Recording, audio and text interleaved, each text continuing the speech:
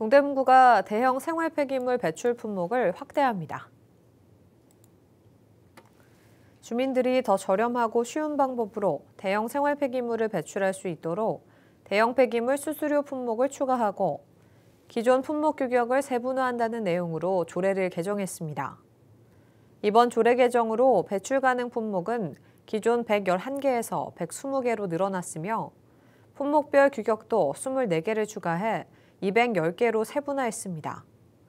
특히 그동안 배출하기 힘들었던 안마의자, 돌침대 등도 배출 가능 품목에 추가해 편리하게 이용할 수 있도록 조치했습니다.